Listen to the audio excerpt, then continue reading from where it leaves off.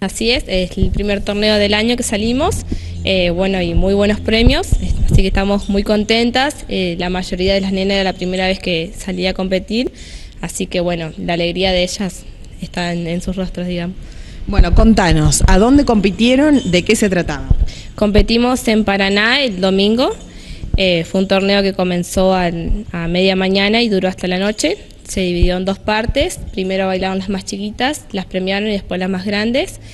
Eh, es el torneo Fitness Groups y bueno, ganamos para la final nacional que se va a realizar en Tigre en el mes de noviembre.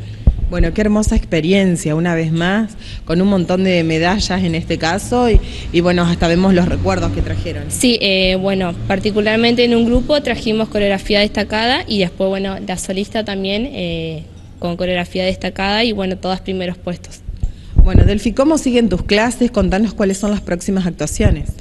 Eh, bueno, ahora en el mes de septiembre eh, nos vamos a tomar libre y vamos a retomar en octubre otra vez en Paraná y seguí y bueno, después eh, las finales en noviembre y Santa Fe también en noviembre. Bueno, una alegría terrible, Crespo siempre allá en lo alto y gracias, bueno, en este caso un grupo únicamente de mujeres. Sí, por ahora sí, de mujeres.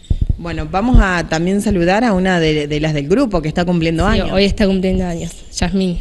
Y que el grupo también le quiere cantar el feliz cumpleaños. ¿Se lo cantamos?